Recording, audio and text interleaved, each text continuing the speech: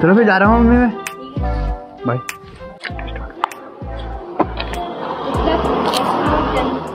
Thank you okay जो खींचना पड़ेगा लगता है। Hey guys this is Himanshu and welcome back to the channel I hope आप लोग सभी अच्छे होंगे और सेफ़ होंगे। तो आज फ़िलहाल हम जा रहे हैं हल्द्वानी से रामनगर और रामनगर में जाने का मकसद यह है कि वहाँ है जिम कॉर्बेट नेशनल पार्क और फ़िलहाल मैं खड़ा हूँ अभी भाखड़ा ब्रिज पे, जो कि काफ़ी फ़ेमस है हल्द्वानी में, अगर आप हल्द्वानी को जानते हो। यहाँ पे ये जो नदी दिख रही है, आपको पीछे बरसात के टाइम में फुल आती है और यहाँ पे लोग काफ़ी हैंग आउट करने के लिए आते हैं। सो फ़िलहाल मैं भी रस्ते में यहाँ पे काफ़ी ट्रैफ़िक है, आगे चल के बात करते हैं। आपको इस वीडियो में पता लगने वाला है कि हल्द्वानी से रामनगर कैसे जाना है और हल्द्वानी के बारे में आपको कुछ अच्छे अच्छे फैक्ट्स पता लगने वाले हैं कि हल्द्वानी का नाम हल्द्वानी कैसे पड़ा और कब हल्द्वानी सिटी यहाँ पे डेवलप हुई थी और यहाँ पे ट्रेन सबसे पहले काटदो काम में कब आई थी? ये सारी चीज़ें आपको आगे मिलने वाली है।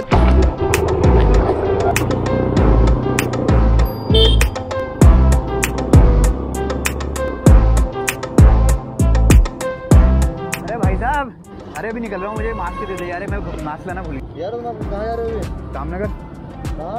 जिम कॉर्बेट पहाड़ियों का शहर हल्द्वानी। जिसकी खोज चौदहवीं शताब्दी में तेरह सौ सन में हुई थी। और इसे ना कुमाऊँ रीजन का एंट्री पॉइंट भी माना जाता है बिकॉज़ यहीं से आपके मेन पहाड़ जो हैं कुमाऊँ के नैनीताल, भीमताल, अल्मोड़ा, जितने भी आगे को पहाड़ हैं, वो सारे सबकी एंट्री पॉइंट यहीं से है।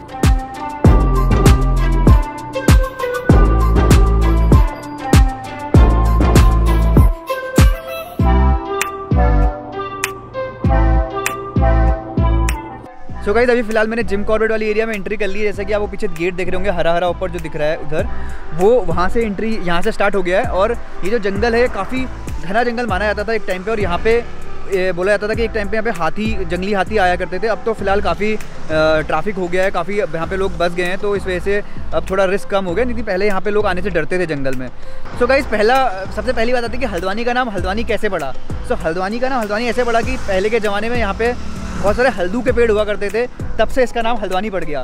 तो ऐसी धीरे धीरे और भी अमेजिंग चीज़ें आपको हल्द्वानी के बारे में पता लगने वाली है तो वीडियो में बने रहें।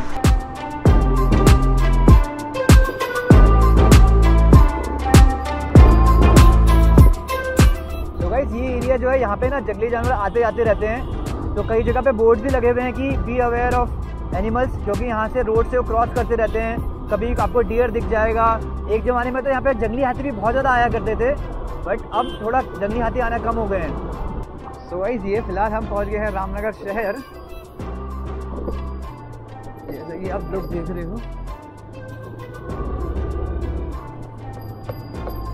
ये है वो बस अड्डा, जहाँ पे आए गैस आपको वहाँ से जो बस चलती है रामनगर के लिए, यहाँ पे आके छोड़ती है।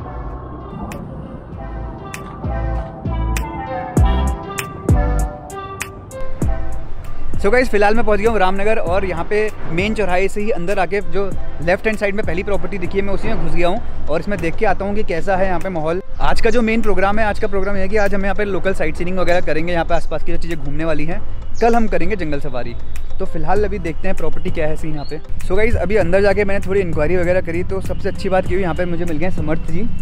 So Samarth ji.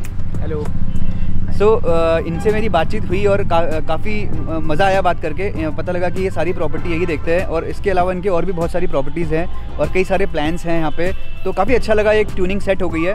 तो अभी इन्होंने मुझे सजेस्ट किया है कि इस प्रॉपर्टी के अलावा भी इनकी एक दूसरी प्रॉपर्टी है जहाँ मुझे जाना चाहिए लोकेशन वाइज और यू नो वेदर वाइज और थोड़ी सिटी से थोड़ा दूर हटके भी है राइट yes. तो इसीलिए मैं सोच रहा हूँ कि अभी वहीं जाके विज़िट करते हैं। और फ़िलहाल समर्थ जी ऐसा बता रहे थे कि यहाँ पे इनके अभी फ्यूचर प्लान्स हैं कि इसी एरिया में जहाँ पे इसका नाम क्या था sir?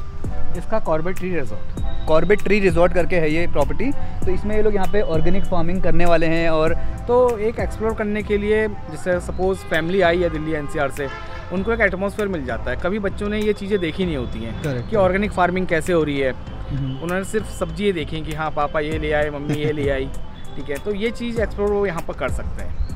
So the best part is कि जो मुझे काफ़ी पसंद आया प्लान की यार अगर आप मड हाउस में रह रहे हो और जस्ट इमेजिन कि आप सुबह उठ रहे हो और खुद ही यू नो गाजर मूली उखाड़ रहे हो सब्ज़ी उखाड़ रहे हो और उसी को फिर यू नो किचन में जाके बना रहे हैं और या फिर अपनी हेल्प कर रहे हो हर चीज़ में तो वो एक अलग एक माहौल बन जाता है और एक अलग ही यू नो ऑर्गेनिक इन्वायरमेंट बन जाता है और एक अलग मज़ा आता है उसका एक अलग एक्सपीरियंस है। आप अगर कभी भी फ्यूचर में ऐसा प्लान करेंगे तो आप ज़रूर यहाँ आना मैं इनकी सारी कॉन्टैक्ट डिटेल्स आपको डिस्क्रिप्शन में डाल दूँगा या आप मुझे इंस्टाग्राम में मैसेज कर दीजिए सारा आपको बता दूँगा। अगर आप इन्वायरमेंट देखोगे मेरे चारों ओर अच्छे अच्छे यहाँ पे आम के बगीचे हैं और बहुत सारे ग्रीनरी है बेसिकली और ग्राउंड है बहुत बड़ा, जहाँ पे आपके बच्चे अगर आप फैमिली के साथ आ रहे हो तो घूम सकते हो और अगर आप नेचर लवर हो तो नेचर के साथ बहुत अच्छा क्वालिटी टाइम स्पेंड कर सकते हो।